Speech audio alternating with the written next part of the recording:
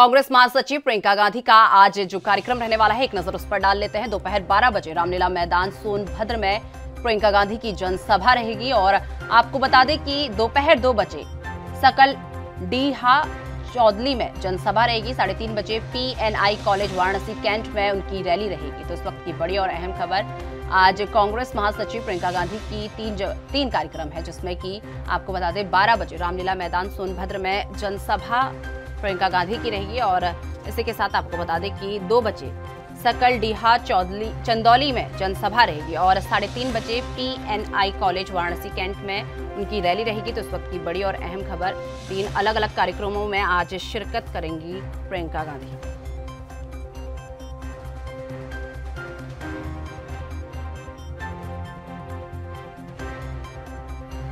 साल के तीन सौ पैंसठ दिन 24 घंटे और सातों दिन। हर हालात, वाकयात की, हर खबर की, हर दस्तक को देखने के लिए। एएनबी न्यूज़ के यूट्यूब चैनल को करें सब्सक्राइब और फेसबुक पेज को करें फॉलो उठाइए रिमोट और जुड़िए एएनबी न्यूज़ के साथ।